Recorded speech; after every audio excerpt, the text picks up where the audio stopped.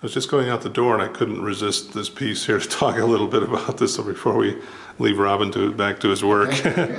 but uh, yeah, so tell us about it. Okay, well, uh, what I was trying to do was make painting more analogous with architecture, all right?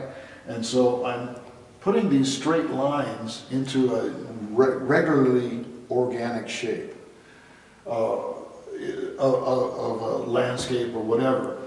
And uh, this landscape, by the way, is of uh, Lloyd Butte, and we were talking about Lloyd Butte a while ago. Uh, but there it is.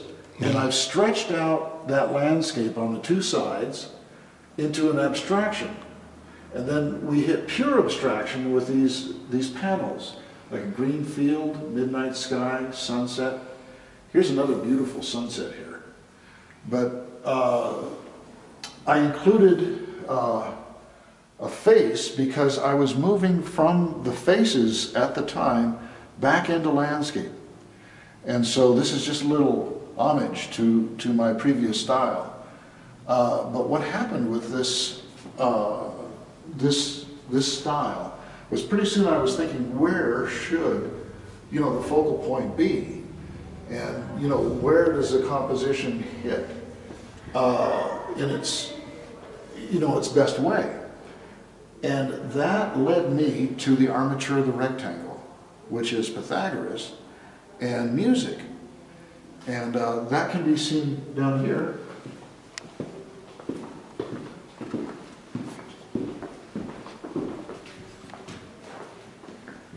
Uh, and now I use this grid every time I compose a painting, uh, figure or landscape or still life. Uh, and what it is, is you cross the corners like so. That gives you your center. From the center, you get this star shape that uh, you're seeing only half of it here. But um, where these intersect here and here, a sine wave can go right in here. And so that's Pythagoras saying that musical harmonies lie on full notes, quarter notes, half notes. And so that's what this grid is all about. And we try to get the composition to hit on those, those diagonals or, or uh, you know, coordinates uh, to make the best possible use of, of, of the space.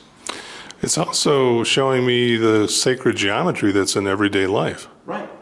You know, we're, we're pattern recognizing animals, from what I understand. So if, if you can recognize a pattern in a painting, that is going to give you a lot more comfort than a painting that doesn't show a pattern.